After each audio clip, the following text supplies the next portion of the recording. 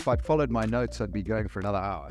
Well, Rob, you you were spot on time, and you once again set the barrier for the other speakers who are coming. No, no, but uh, you didn't mention Gayton or the Patriotic Alliance. The business community, the tribe, know that at one of the conferences you said he should be president. He was your pick for president of South Africa.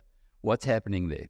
He wasn't really my pick. I said he could easily be president, and I explained why. But for all the best reason, Herman could be president, and John here, Steenhuisen could be president. I mean, we've very good candidates for president. But in some ways, just for me personally, the president is important, but more important is the cabinet that they bring with them, the, the, the experts in each field and the experts beneath that. And I spoke in Hermanus about six, eight months ago at the uh, Third Age Conference, which this feels a little bit like the third age. You know, the first age is when you're young and young and crazy. The next age is when you're working very hard to, you know, build your skills and your wealth and your contacts. And the third age is when you have all these skills and intellect and experience. And, and this feels a bit third age, as did that speech. And uh, I feel that this is the community that really can change this country. You know, we have all the skills, we have all the influence, we should be using it. But Gayton, let me talk about the Patriotic Alliance. I've got to know Gayton McKenzie for the last three years, and I've introduced him to BizNews and many, many other people, including a lot of people in the room. And when you meet him, you will be you will be amazed by him. He and I come from the most different backgrounds ever. I've had every element of privilege and access and opportunity. He's had none. And yet, at this point in our lives, we agree on everything. He is capitalist, libertarian, pro democracy. He believes in the rule of law. He is anti communist, anti Russia, anti China, pro West and he just spent the last week in Israel. He met the president, and he's come back, and they will announce in the next few days, the Patriot Alliance, they are friends of Israel. Think about that for a second. So the DA does not trust Gayton McKenzie. And James Lorimer and I had a, and Alec had a nice long chat last night. And I said, why? Why don't the DA trust him? And, and and the, and I asked this question of a lot of DA members, and they said, because he's a crook, he's a bad guy, and I said, bring me one piece of proof. I just want one tiny fraction of proof, and no one brings me anything. Dion George tells me he's a crook, can't show me anything. Helen says it, can't show me anything. And all the meetings that Helen says that Gayton said illegal or immoral things in, Corne Mulder was in every meeting, says Gayton didn't say that. So I think the DAs are delusional when it comes to gay, but let's leave it like that because I am a DA supporter. I, am reading the most wonderful book at the moment, recommended by R.W. Johnson, called um, uh, Team of Rivals. And it is the biography, probably the best biography, Pulitzer Prize winning biography of Abraham Lincoln, who had rivals in his cabinet. And I think if we could give that book to every single member of the coalition, they'd, they'd wake up. But an interesting point when you were talking about education is Abraham Lincoln had altogether one year of schooling. One year of schooling, and he's the greatest statesman that the Americans have ever produced. And the reason why was that he was on a continuous journey of learning. He was a lawyer. He became a lawyer after he'd finished and got married and started learning and studying law. So it can be done. It's just just uh, when you talk about a Gayton and other people. yeah. Yeah. W- what about uh, Snuki Zikalala. I interviewed him two days ago. He is the head of the Veterans League. He's well known here uh, amongst the tribe as being the former managing director of news at the SABC. Uh, I actually employed Snuki at the SABC as an assistant labor editor, and um, when I worked there for a, a period of time, and I've got a very good relationship with him and still know him very well. He's always been a man of integrity, in my opinion. Uh, we we don't agree on everything, but I find he has deep integrity. He was saying in that interview, which I thought was a watershed in many respects, that the ANC would do go into coalition with the DA, but definitely not the EFF. Definitely not the EFF. And it would go into coalition with the DA also to draw on its governance uh, abilities because the ANC realizes the Western Cape is extremely well run, uh, but more so when you compare with the rest of the country. What's your feeling on that? How would you feel about a DA, or let's not say DA, let's say the PACT, because it's not DA anymore, they're all together. A PACT stroke ANC coalition post 2024. So it would make me sick to still have the ANC in power. And, uh, you know, I think it was James last night, he said to me that even in a coalition, you're not going to get rid of corruption and inefficiency because you might have the mayoral position in a in Gauteng, for example, held by the pact, and you might have finance and treasury controlled by the pact. But if human resources are still controlled by the ANC, you're going to have out of control hiring and, and the wrong people being hired because they actually, you know, have cadre deployment, cadre deployment, and they have, you know, idiots being put into these roles. The ANC does not have a deep bench of intelligent people. We know that by now. So even in a coalition, you're still going to have inefficiency, kleptocracy, ineptocracy, because you'll have the ANC involved. But it's a better result than having the ANC in total control or the ANC teaming up with the EFF, which will never happen, by the way. People worry about it. They see this clown Juju jumping around on the stage singing whatever he sings. Ignore him. He's looking for attention. The more you ignore him, the less relevant he becomes. So the first prize is for the coalition to win and someone like Herman to be president of our country.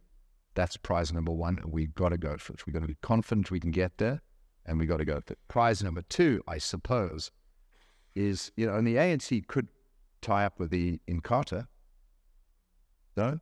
But let's say it's with the coalition. That is second prize. That's at least trying to recreate 1994 to 2004 when we had a well run country, economic growth, unemployment falling, and all the positives. And Frans Cronje's research shows that a majority of people polled hark back to that rainbow coalition of 94 to 2004, and they would vote for that again. So I think an ANC coalition, uh, ANC Moonshot Coalition partnership would get have a lot of support. I just worry about the execution. You've got to get rid of all these old Madalas in the ANC and bring up the new, the new younger crowd. Pen, maybe you can help do that. Encourage that. If that happened, because now we're trying to look at 2024 and likely scenarios. Um, certainly, the EFF, according to the ANC's own rules, cannot be a coalition partner for the ANC. They'll have to change their whole constitution to allow them in. As as Sanuki said, they do not respect rule of law point one before you even go any further. But let's just say that we had Moonshot PACT getting 46%, ANC getting 38%, and you then had a, a very strong government in coalition between the two. What what would your guys, your international community, your network offshore, would they be bringing money back to South Africa then? Yeah. Assuming that that new government uh, deregulated, um, pivoted to the West, um, got rid of, you know, BE, EWC, uh, overregulation. I mean, it's very simple to fix this country. It's very, very simple. You know, there are the five or six things you have to do. It's clear as the driven snow, or as the Clockwork Orange would say, clear as the azure sky. And um, you, you implement that very quickly with competent people in charge it's, it's this country will turn around so quickly. That's the, the beauty of it all. And that really is something I'd like to see. And if the Moonshot Pact were to achieve over 50%, what would the difference be between? Well, that would be a home run. Help us, yeah. Just help us understand what yeah. it's likely. So having the ANC in partnership with the Moonshot Pact does it depends who has the greatest shareholding. So let's assume the ANC has the greatest shareholding and that the Moonshot Pact is its partner alliance. You know, you would then assume the ANC would keep some key positions, including the president. Um, by the way, watch out for Paul Mashatile. He is the EFF. Okay? He's the EFF. I was on a flight with a very senior cabinet minister, I'm not going to say who, by chance sitting next to him, and I've always liked him. And he said very clearly, he said, Paul Mashatile is the EFF. Don't have any doubts about it. Was a cabinet minister. Okay, so beware the wolf in wolf's clothing. Um, so if if the ANC is the lead partner in this coalition, you know you will still have a lot of foreign direct investment as long as all the right things were being done. So as long as enough of the right things were being done and the country started moving, you know we're in good shape. But I think between now and then we're going to see a lot of economic uh, problems. We're going to see, you know, civil unrest. What you saw yesterday in the Cape, we're going to see all over South Africa. It's now going to be a feature of our lives. We've got some real headaches coming. And I'm not sure the ANC are going to play with a straight bat at the election. You know, be ready for some very dodgy results and very dodgy situation coming forward over the next eight to 10 months. Impact, if any, of Russia? Impact of? Of, of Russia in the 2024 election, if any? Do you see them being involved? Yeah, I mean, I think you will see you know, the Russians are, it's in their interest to keep South Africa on side and not have South Africa swing completely to the west. But we're not as much a priority in Russia's eyes as we think we are, in my view. And the Americans, you know, they don't want this country to fall into the abyss and they don't want this country to fall right into the hands of Russia. So I think there'll be counterbalancing forces going on over the next 10 months. The State Department is active in this country right now. I'm looking at it more on a on a subterfugal level, if you like, with Prigozhin and his troll farms, and he's got one operative in South Africa at the moment. No it's it's not difficult to see yeah, where a lot of this stuff comes from. No question. Uh, but the the I suppose the big question, and we did have it at one of the BizNews conferences, and it was quite well asked, uh, answered: Is the next election going to be free and fair? I, I I can't comment. Maybe let's make it different. How do we make it fine fair? Frans Cronje, I said, if you had to tell me that the election was today, who would win? He said, as of today, this is a week ago, the ANC would get 50.1%, as of today. But he said, you know, there's eight to 10 months to go. The Moonshot Pact are coming together. They seem to be not squabbling anymore, and good things are going to come out of it. And he said a lot can happen in the eight to, eight to 10 months. All the work that Michael Louis and Skull Kearney and others are doing, you know, the forces are with us. And I think we can get a lot done in the next eight to 10 months to make sure that 50.1 is not the result. We know that if the Patriotic Alliance were to switch sides, uh, the, and there's a lot of skepticism about the Patriotic Alliance, but if they were to switch sides in a way that was permanent, there would be many municipalities around the country, including Johannesburg, that would go to the Moonshot Pact. What can you do, given your relationship with both sides, to broker that? I've almost given up. I mean, Herman's tried his best to get Gayton McKenzie included in the into in the Moonshot Pact. The DA just won't do it. They refuse. They say he's a one-man band. He's an opportunist, and we don't trust him.